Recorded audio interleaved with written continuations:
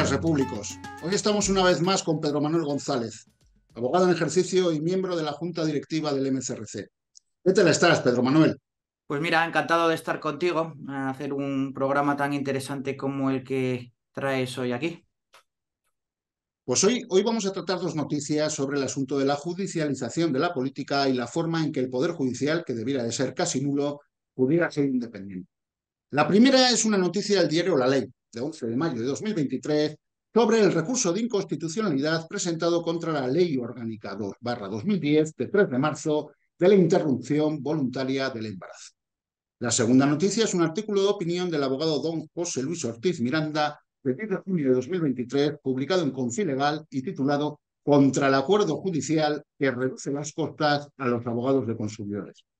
Por último, vamos a hablar de una alternativa de solución a la judicialización de la política y a la politización de la justicia, de cómo pudiera haber un poder judicial independiente, de acuerdo con lo expresado por don Antonio García Trevijano en su libro Teoría Pura de la República Constitucional.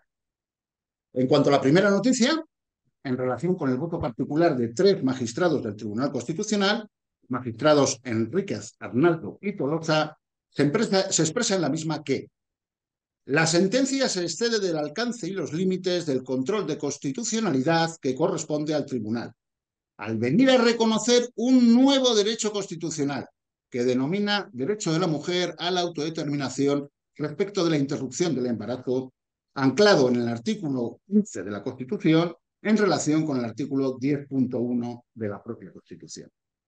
Potestad esta que corresponde al poder constituyente no a los poderes constituidos y, por tanto, no al Tribunal Constitucional. ¿Qué dice literalmente respecto a esta cuestión dicho voto particular? Se puede leer respecto de lo que nos atañe lo siguiente.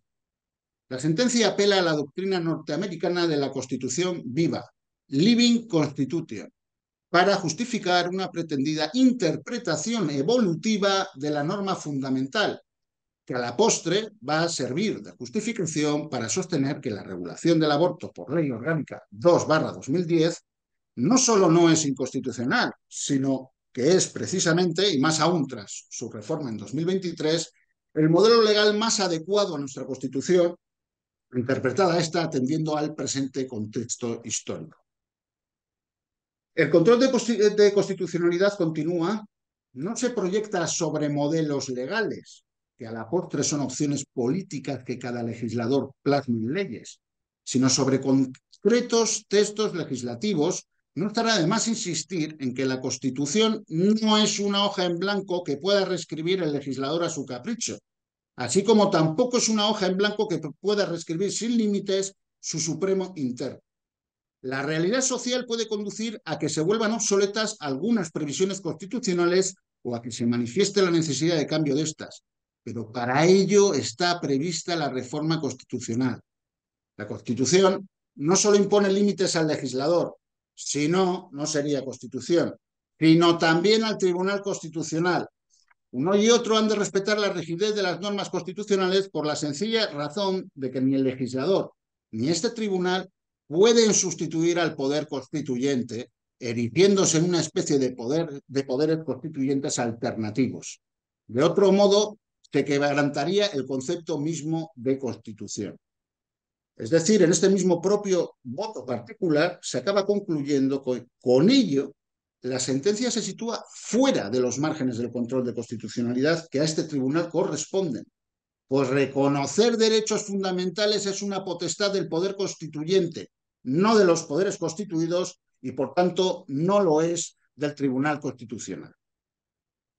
También expresa dicho voto eh, particular que eh, la sentencia comete una construcción dogmática que incurre en el claro exceso de pretender limitar las legítimas opciones del legislador en la regulación del grave conflicto jurídico que la interrupción voluntaria del embarazo supone, contradiciendo la propia Constitución. Al respecto, hay otro voto todavía particular que es de la magistrada Concepción Espejel, eh, que además añade, bueno, primero objeta la compensación del, tribunal, porque de acuerdo con otros cargos que han tenido anteriormente, falta la debida apariencia de imparcialidad, Y pero concluye diciendo que la sentencia no se ciñe a una interpretación estrictamente jurídica, dando entrada a un planteamiento ideológico tendente a crear un inexistente derecho fundamental de la mujer al aborto, que además de dejar desprotegida la vida humana en formación, desborda los límites de enjuiciamiento del Tribunal Constitucional y acaba imponiendo como único modelo constitucional posible el de la Ley Orgánica 2-2010, cerrando el paso a cualquier otra opción legislativa posible, condicionando los pronunciamientos que en su momento puedan efectuarse en relación con la Ley Orgánica 1-2023.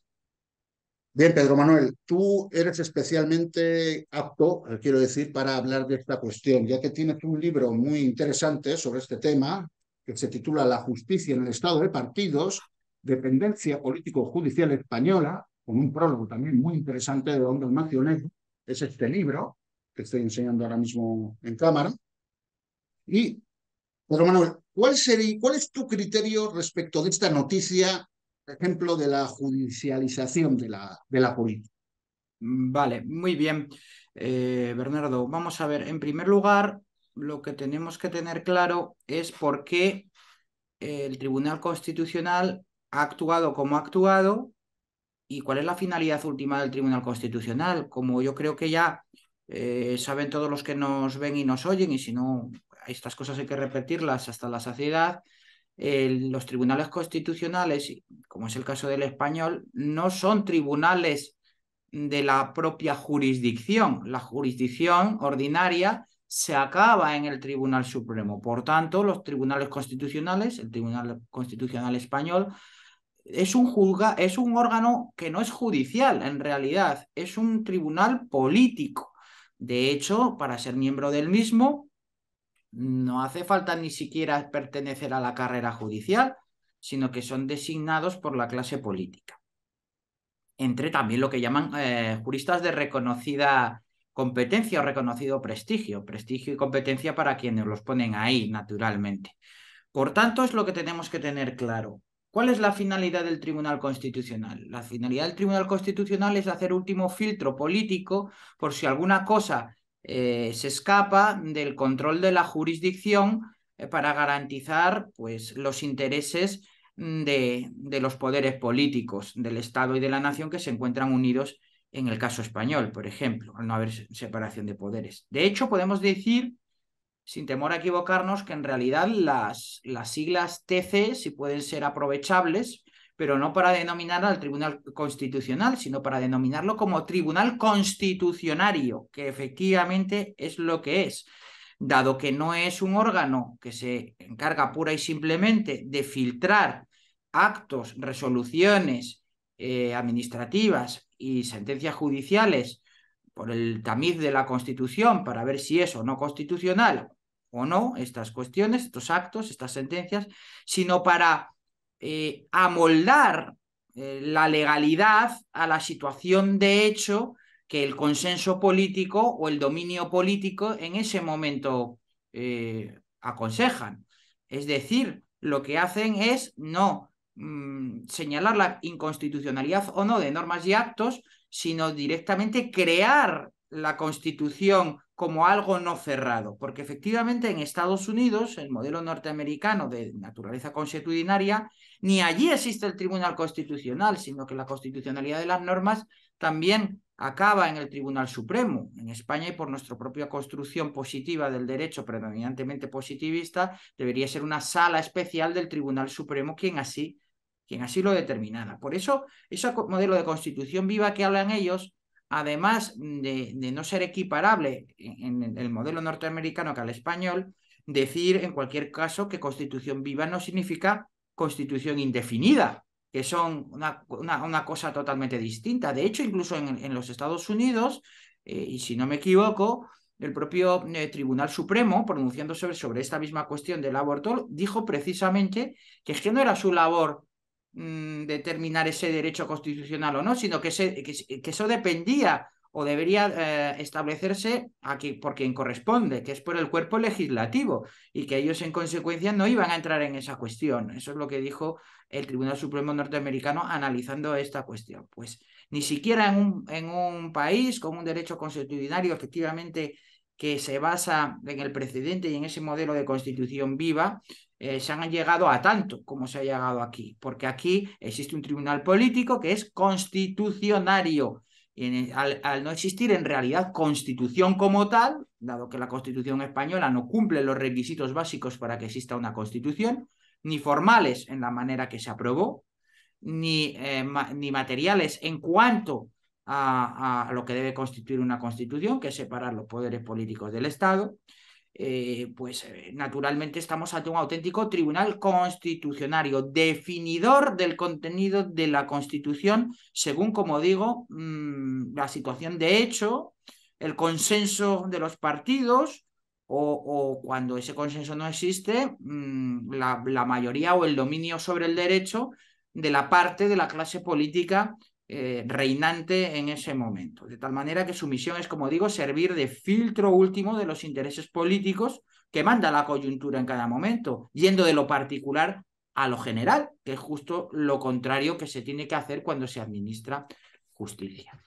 Eh, más aún, y siguiendo con lo que dices, eh, lo que sí que me parece, cuanto a los votos particulares, que sí que puede ser acertado en, en cierto modo, alguna de las cosas que dicen, es, por ejemplo, cuando has hablado del voto también, a lo que añade el voto particular de Concepción Espejel, que es una muestra de hipocresía magna, ¿no? Porque es que, fíjate lo que dice, que a estos argumentos, que sí que puede tener sentido, como he dicho, añade que, que además eh, existe eh, una falta de la debida apariencia de imparcialidad. Esto lo dice el miembro de un tribunal político, como hemos dicho, que lo ha puesto ahí la clase política igualmente. Lo que ocurre es que en esta ocasión se ha impuesto la mayoría de la facción contraria, simple y llanamente. Por eso es una muestra de hipocresía hablar de falta ya de apariencia. Date cuenta que no dice ni siquiera de imparcialidad, dice de apariencia de imparcialidad. Lo que le preocupa es la falta de apariencia de imparcialidad, no la falta de imparcialidad. Pero hablar de falta de, de imparcialidad, habiendo aceptado el cargo de formar parte de este tribunal político, en lo que se hacen es medirse los juegos de poderes políticos para servir de filtro último a la jurisdicción como un cinturón de seguridad que se pone la clase política, porque insisto, si de verdad existiera un control jurisdiccional de la, de la legalidad constitucional, tendría que estar en el seno de, de, del Poder Judicial, en una sala especial del, del, Tribunal Constitucional, pues habla de apariencia de imparcialidad. Esto es, pues, solo se puede calificar ¿no? como, como un ejemplo de hipocresía y bueno, como al fin y al cabo un signo de derrota en ese juego de mayorías y minorías políticas que se dirimen en el propio Tribunal Constitucional. Y eso enlaza también con lo que, con lo que tú me preguntabas, en, en, si esto es una consecuencia o de la judicialización de la política. Bueno, efectivamente así es, porque la judicialización de la política es el reverso, la foto en negativo de la politización de la, de la justicia. En realidad son dos caras de la misma moneda, la politización de la justicia y la judicialización de la política. La politización eh, de, de, la justicia es el intento de control a través de los medios legalmente establecidos en nuestro sistema institucional para controlar las decisiones judiciales a través de la designación de sus órganos, órganos de gobierno, como pueden ser el Consejo General del Poder Judicial, órganos decisorios, como son los miembros o, los magistrados de los tribunales colegiados, audiencias provinciales, Tribunal Superior de Justicia, Audiencia Nacional, que se hace a través de las comisiones de designación del propio Consejo eh, General del Poder Judicial, eh, el, el, propio Tribunal Constitucional, como acabamos de ver, e incluso la Fiscalía eh, General del Estado. ¿no? Eso es la, la, la politización de la justicia. Y la judicialización de la política es, una vez copados esos, esos puestos en, en, en, en, las instituciones de responsabilidad dentro de la organización judicial o de su gobierno, llevar a la arena política cuestiones cuya resolución debe ser absoluta y meramente política y en esa arena deben de, dirimirse, es decir, es la desviación a procesos judiciales de cuestiones que deben de resolverse en la política, en la arena política. ¿Y por qué ocurre eso en España? Pues por una razón muy sencilla, porque al no existir independencia judicial y separación de poderes, es absolutamente imposible discernir o separar la frontera entre las responsabilidades penales, las responsabilidades judiciales y las responsabilidades políticas. Si no existe separación entre la justicia y lo político, naturalmente todo es un mare magnum y es imposible discernirlo. Casos hemos tenido muchísimos. Por ejemplo, en la Junta de Andalucía, con, con la, familia Chávez, que él decía que hasta que no le sentaran en un banquillo, que que finalmente pasó, pues él no iba a dimitir porque no tenía ninguna responsabilidad. Claro, no existe esa diferencia entre la responsabilidad política o, y la responsabilidad eh, penal o, judicial. Es imposible de, discernir y toda entre ellas se mezcla y existe un totum revolutum absolutamente indiscernible.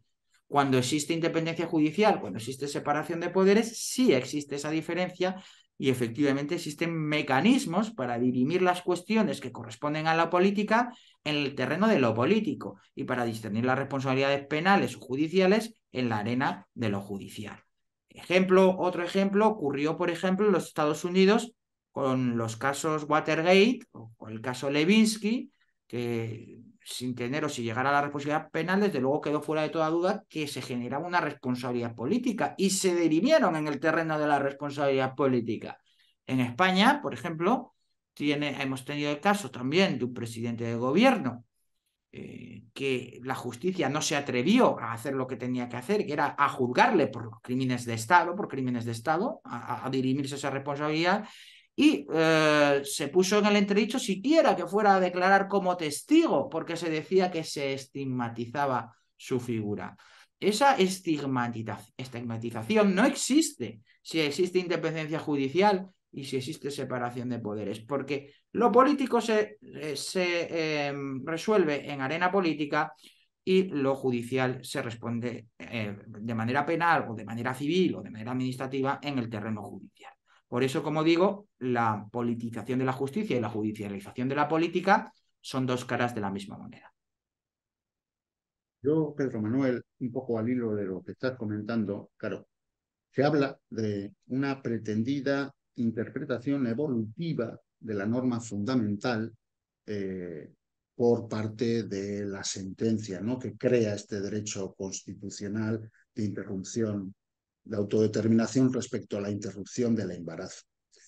Claro, en realidad se está confundiendo, ¿no? Porque, como has dicho tú, es un tribunal que está, eh, es una jurisprudencia creativa, es un tribunal constitucionario, ¿no? Que se está arrogando ser el poder constituyente cuando por la propia, eh, vamos a decir así, por el propio positivismo de Kelsen, que es que al final es Kelsen quien eh, hace el Tribunal Constitucional y es Kelsen el que más o menos es el padre del positivismo, él le llama teoría pura del derecho, yo lo llamaría teoría pura de la legislación positiva del Estado.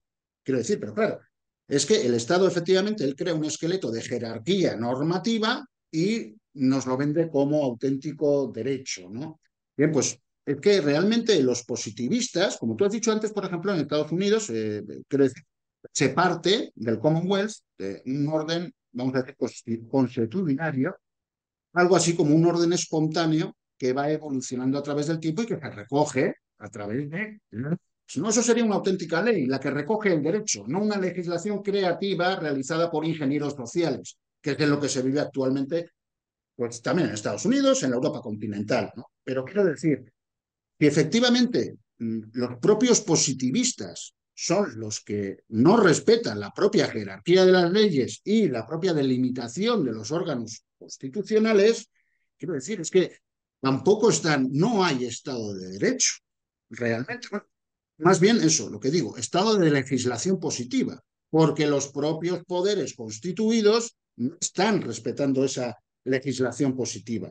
Como tú has dicho antes, esto eh, les preocupa más el cómo sí, el, velo, la apariencia, incluso para a través de ella conseguir el fraude, el fraude eh, normativo y el fraude eh, político, porque al final efectivamente, por lo menos en este caso, es un órgano judicial que efectivamente para cumplir correctamente con sus funciones debería de ser un poder casi nulo, debería de delimitarse a administrar justicia y a ejecutarla, Y resulta que eh, es un órgano político, no es un órgano propio del cuerpo jurisdiccional, como bien has dicho, y eh, lo que se dedica es a hacer política, a hacer unos mandados de sus mandantes políticos que efectivamente le han colocado en esa institución.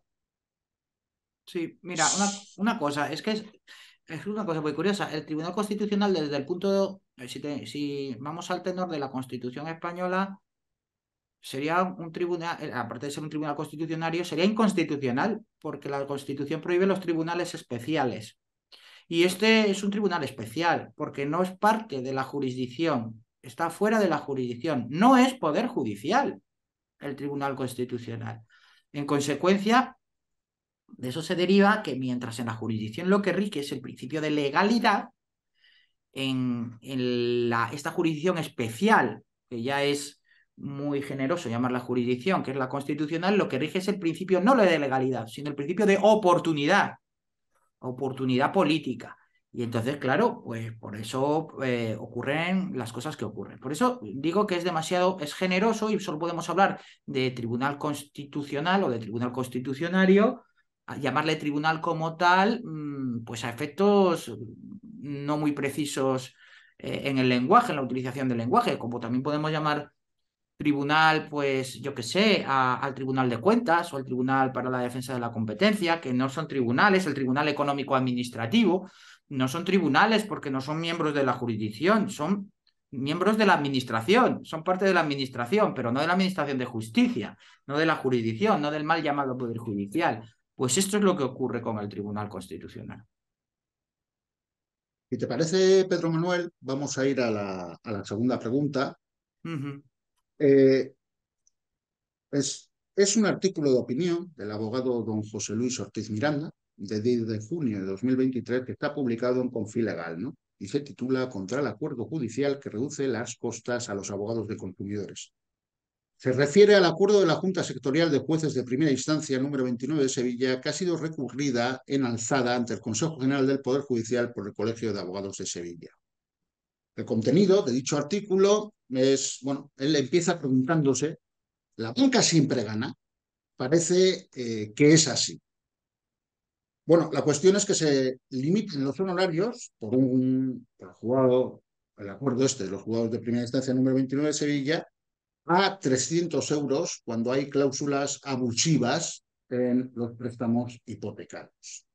Claro, 300 euros que se fijan eh, por parte de este acuerdo del juez cuando, si efectivamente se van a honorarios de eh, criterios de honorarios orientativos del propio Colegio de Abogados de Sevilla, pues eh, son dos mil, dos mil y pico euros. Vamos, pero como en el de Sevilla y en el de otras provincias, ¿no?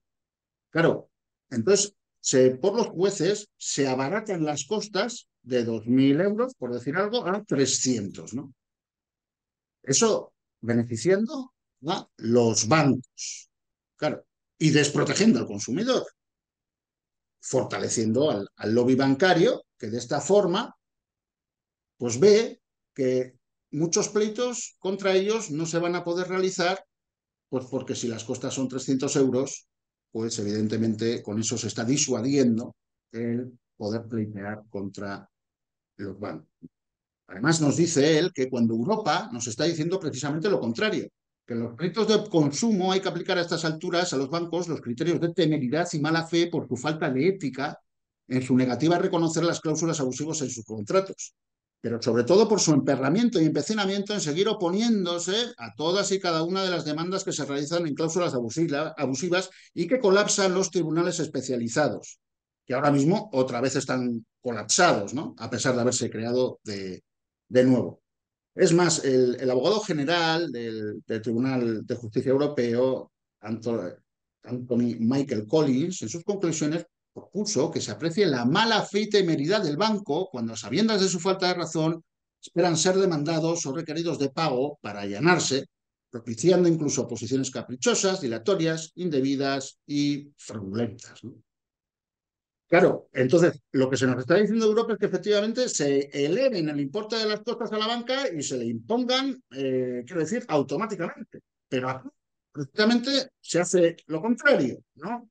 Y, claro, eh, lo que no puede ser es efectivamente minorar las costas. Lo que tiene que hacer es condenar a estas entidades sistemáticamente, como nos está eh, diciendo Europa. Hay un argumento que es curioso, que se dice que para reducir las costas, porque estamos en un pleito mesa ¿no? de condiciones generales de contratación que no remite especial complejidad para el letrado. Vamos a ver.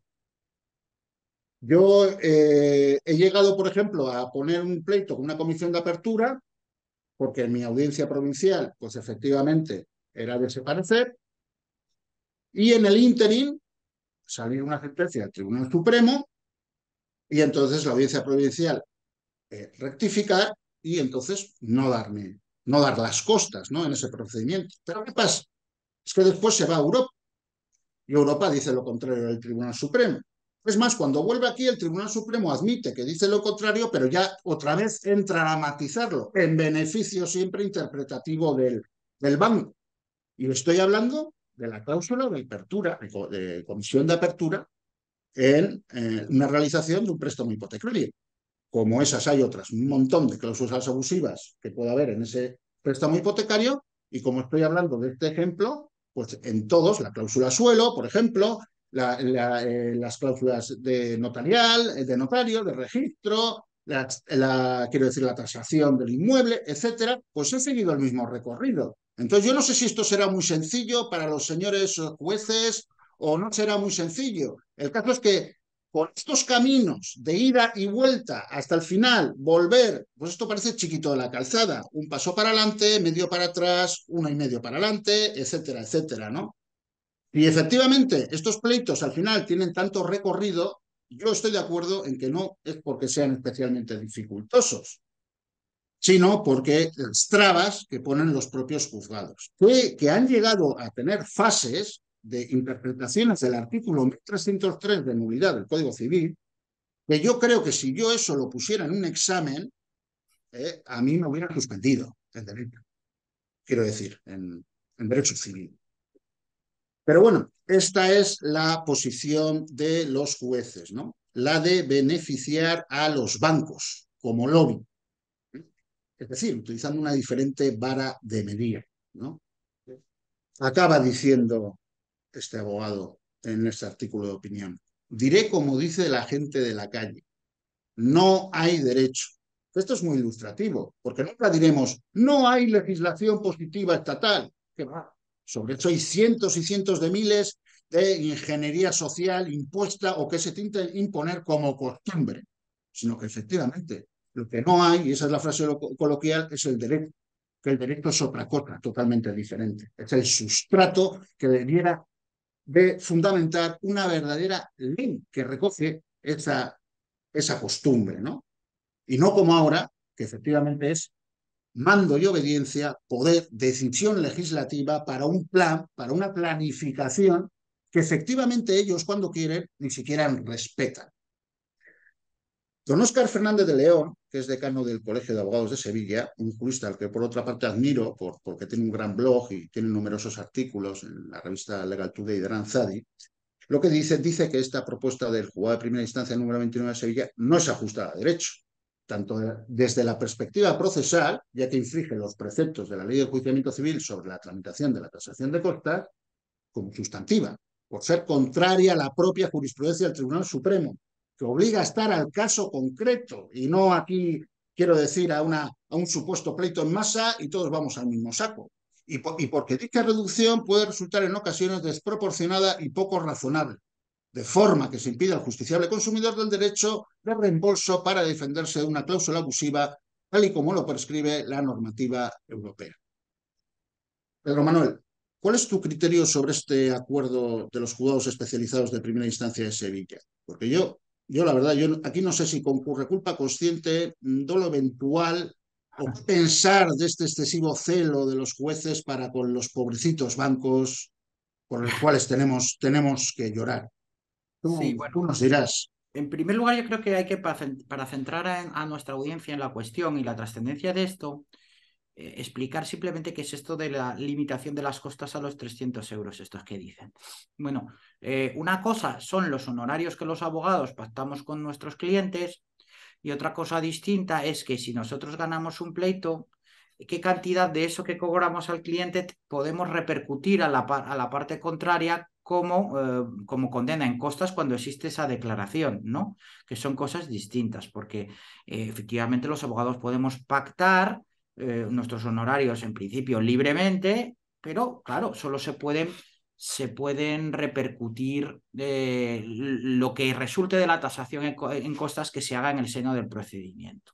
Para esto hubo también un antecedente muy importante, una cuestión muy importante que, que se entiende mejor con esta noticia que tú das ahora mismo, que es que para practicar esas tasaciones en costas, es decir, qué parte de lo que le, cobras a tu cliente te tiene que pagar la parte contraria, hablando mal y pronto para que se nos entiende, se puede repercutir, ¿no? ¿Qué parte se puede repercutir? Y para eso teníamos, nuestros colegios nos daban unas normas orientativas, unos baremos, en los cuales los juzgados se fiaban por esos baremos, incluso los colegios hacían dictámenes eh, cuando se impugnaba una tasación de costas en base a esos, a esos baremos. Pues bien, ahora resulta que esos baremos han sido declarados ilegales.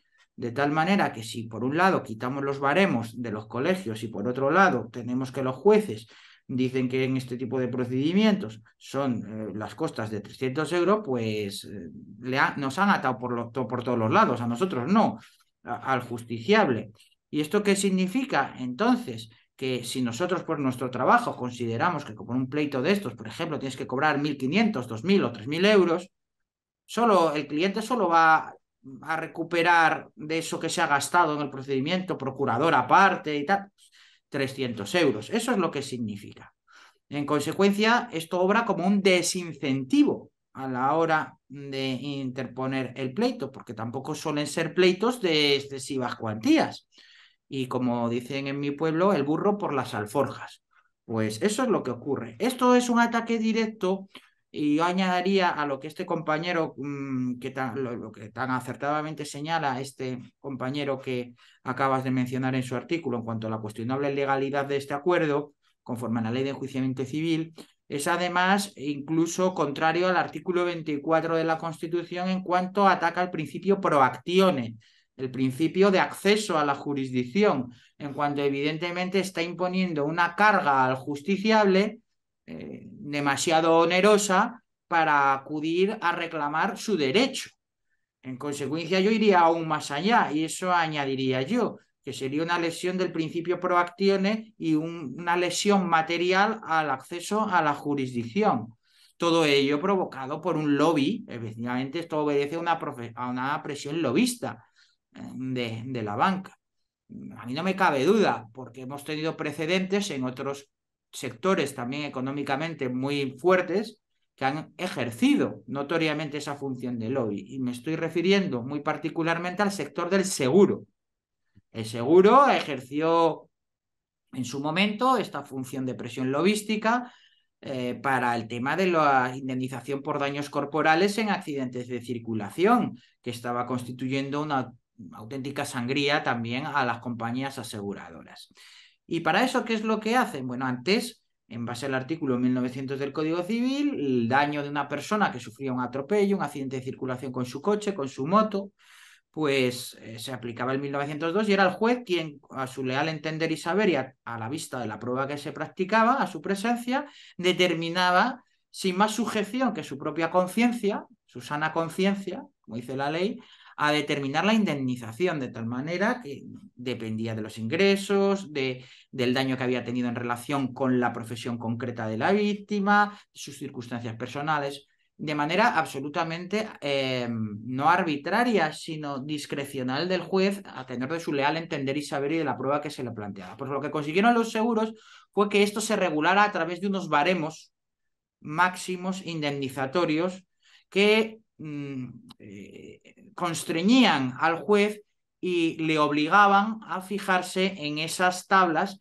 que ellos mismos, bueno, que salen publicadas anualmente por la Dirección General de Seguros, pero que en realidad a nadie escapa, son elaboradas directamente por las propias patronales de los seguros.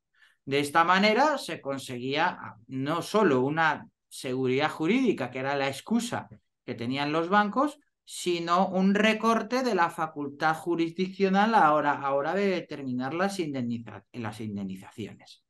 ¿eh? Y además tan mal no debió ser cuando los de las patronales de seguro mostró su satisfacción. Pues eso ha ocurrido antes. Ahora lo que ocurre es esto.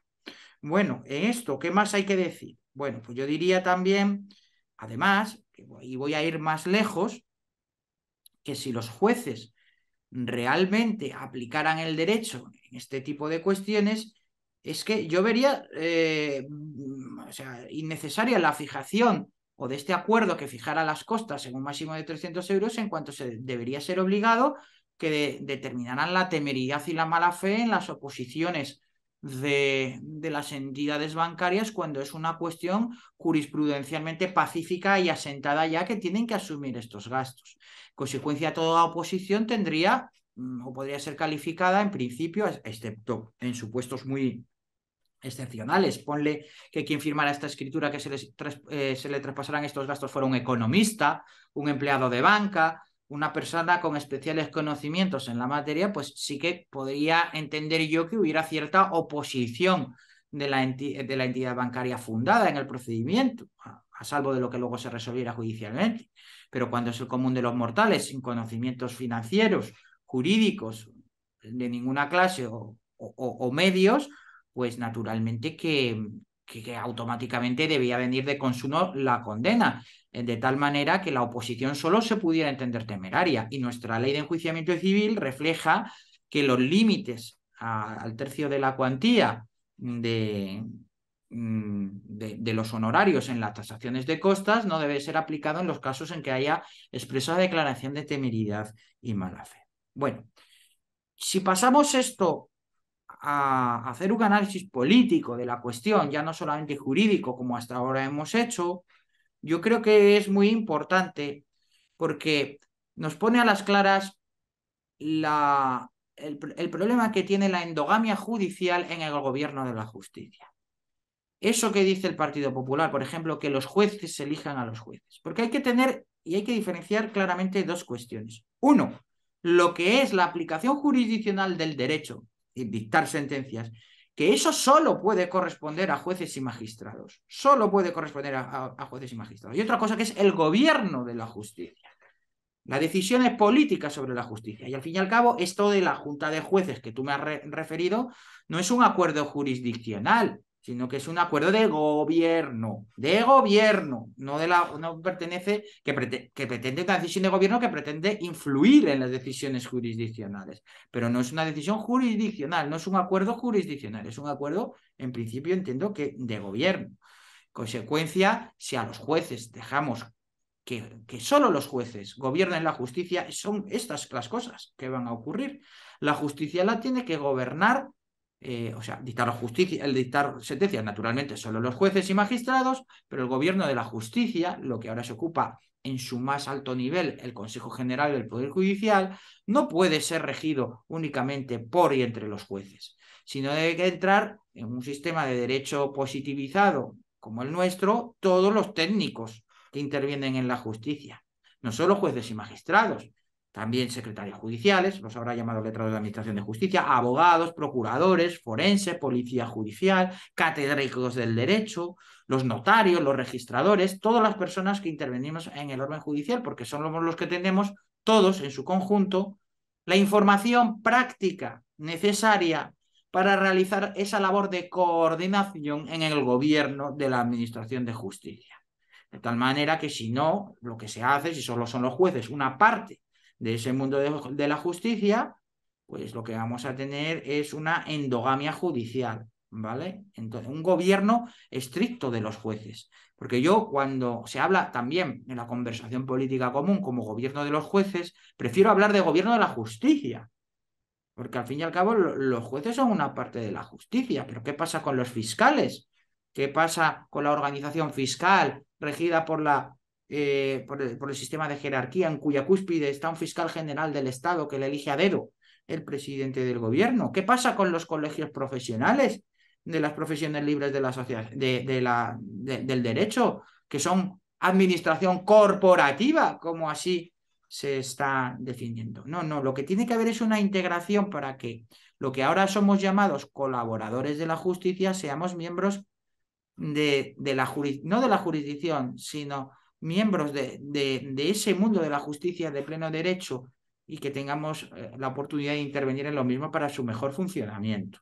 ¿De acuerdo? Esto solo se produce, como Antonio García Trevijano define en su teoría pura de la República, a través de la sustitución, la, supresión del Ministerio de Justicia y, la y, pasar sus competencias a un órgano de gobierno de la justicia que sustituya al Consejo General del Poder Judicial, eh, que elijan al modo presidencial a su, a su máximo rector, el presidente del Consejo de, Justicia, y que esté en nombre a su gobierno de la justicia. Ese, presidente del Consejo de la Justicia debe ser elegido por todos estos operadores jurídicos, no solo por jueces y magistrados, que también. Claro, es que si, todo lo que es el, quiero decir, la organización de, la llamada justicia, ¿no? Es lo que tú has dicho, registradores de la propiedad, funcionarios, eh, etcétera, etcétera, todas, todos los, los, operadores o colaboradores ¿no? con la justicia. los funcionarios también, que están en huelga ahora, también los funcionarios, por supuesto.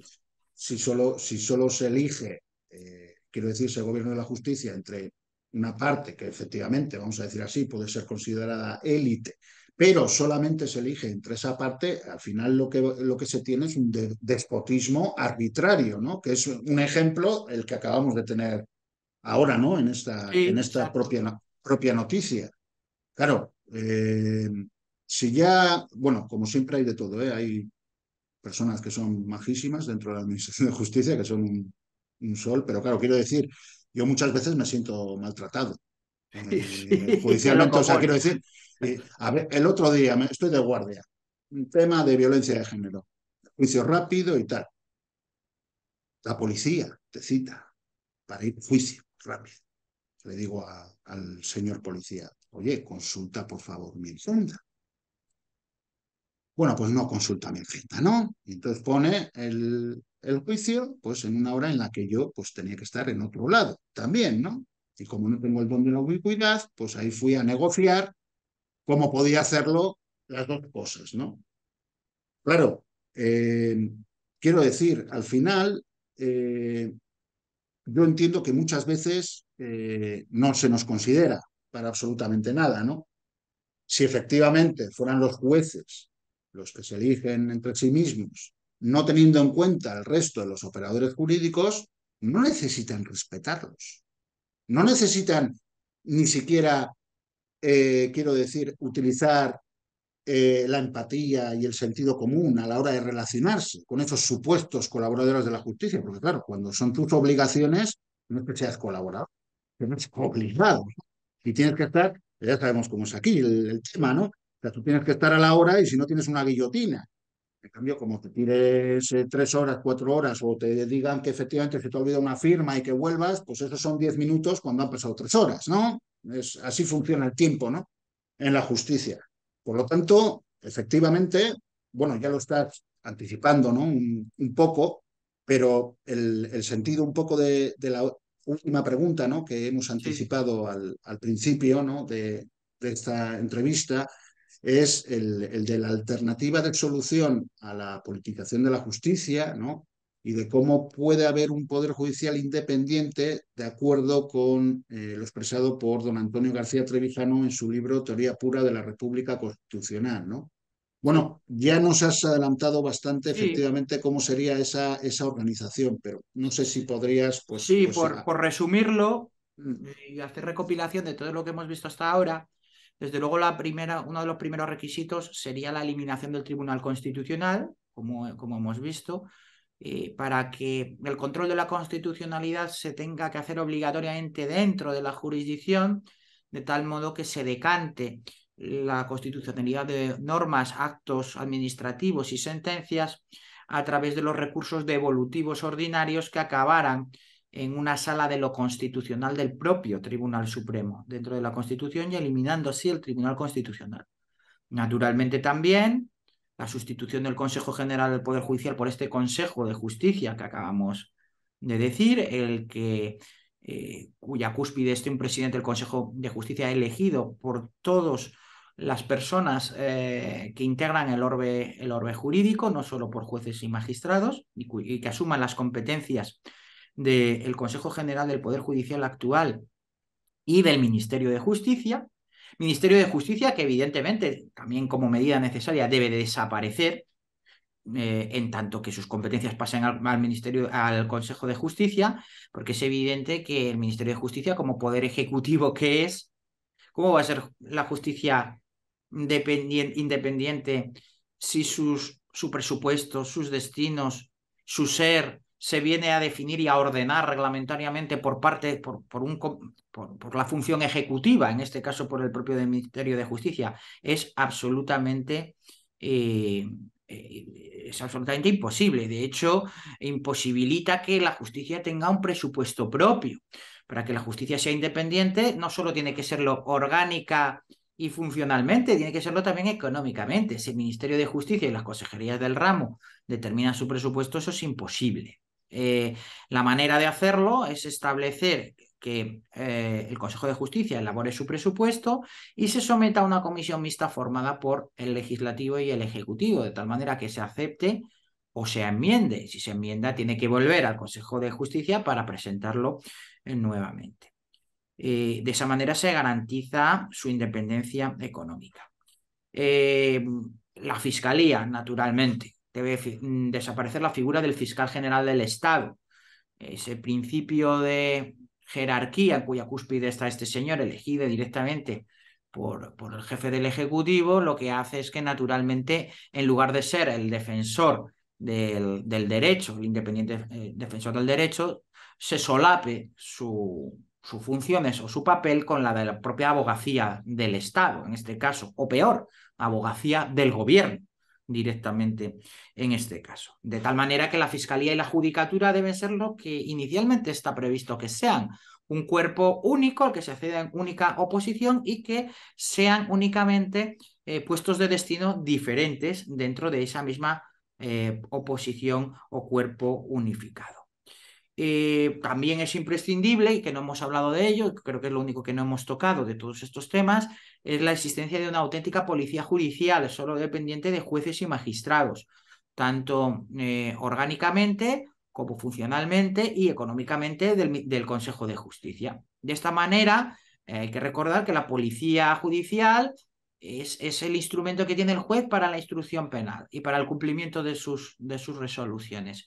Actualmente se nos puede decir, pero si existe policía judicial, bueno, es una denominación que se hace a ciertas unidades de la policía de interior, ¿eh?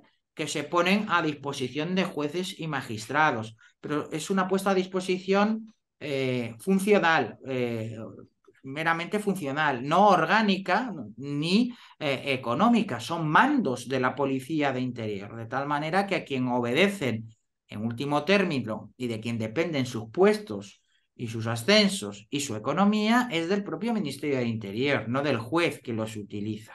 Esto ha traído problemas tan graves como el de el, este mando de la Guardia Civil, Pérez de los Cobos, que sufrió las iras del señor Marlasca eh, por hacer precisamente lo que debe hacer un policía judicial, que es hacer únicamente caso a las instrucciones del juzgado, del órgano judicial a cuya disposición se encuentra y no hacerle caso a él, que es su jefe funcional y orgánico, ¿no? O sea, no funcional, orgánico y económico, que es el, el propio señor Marlasca. O en el caso del Faisán, te acordarás, ¿no? El chivatazo a ETA en un momento en el que no convenía porque había unas negociaciones políticas para el alto el fuego y eh, las unidades de policía judicial sabotearon la operación que el propio Marlasca, por cierto, ordenó cuando estaba al frente de un juzgado central de instrucción en la Audiencia Nacional. Y esto ocurre porque a quien obedecían realmente no es al juez a cuya disposición se encuentran, sino de quien les pone a su disposición,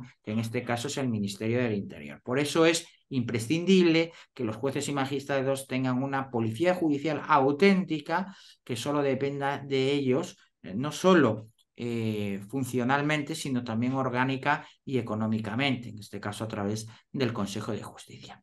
Seguramente haya muchas más medidas. También otra importante que se me viene ahora a la cabeza, pero esta sí la hemos apuntado, es el hecho de que los colegios profesionales de las profesiones de justicia sean auténticas asociaciones de libre adscripción para el perfeccionamiento profesional y la formación continuada y para la defensa de los intereses de la abogacía y de la procura.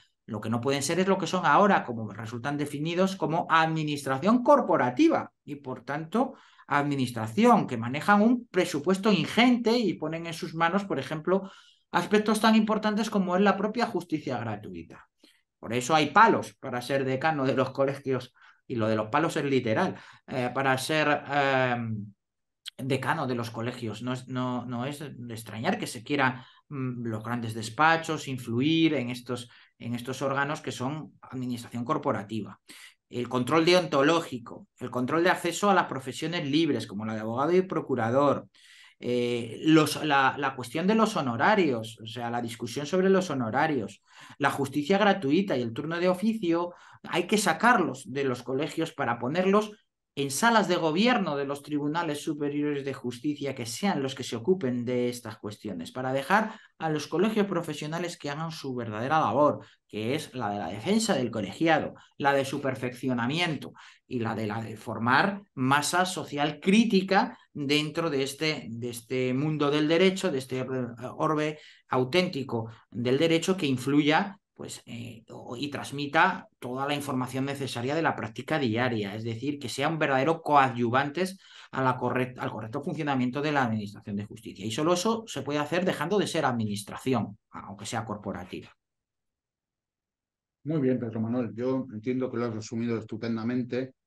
Y para finalizar, bueno, quiero enseñar otra vez eh, tu libro, La justicia en el estado de partidos, que para el que quiera profundizar en todas estas cuestiones, pues para mí es un libro fundamental, que además presenta una evolución histórica, porque es muy, muy interesante. ¿no? Y luego, por último, quiero también mostrar un libro que don Antonio García Trevijano recomendaba bastante, que es el de Interpretación de la Ley y de los Actos Jurídicos de, Emilio Betti. Ahí es nada. Bueno, yo invito eh, pues a los operadores jurídicos y también, especialmente a los jueces, que, bueno, a la hora de interpretar las leyes, eh, pues tengan en cuenta este libro para efectivamente realizar una jurisprudencia y una interpretación correcta y no una jurisprudencia creativa. ¿no? yo, pues si efectivamente es eh, por negligencia o desconocimiento, pues les recomiendo este libro. Y si es eh, por dolo, por medrar o por hacerle el apaño a los lobbies, pues, pues efectivamente no les hace falta leerlo en absoluto. Para nada. Muy bien, eh, Pedro Manuel, pues, pues encantado, encantado repúblicos eh, de haber estado con nosotros una vez más. Esperemos que sean, que sean, que sean otras veces más. Y bueno, Pedro Manuel, un fuerte abrazo y volvemos a, a quedar cuando nos respondas. Muchas gracias por este rato. Bueno, repúblicos, buenos días y un, un fuerte abrazo. Hasta luego.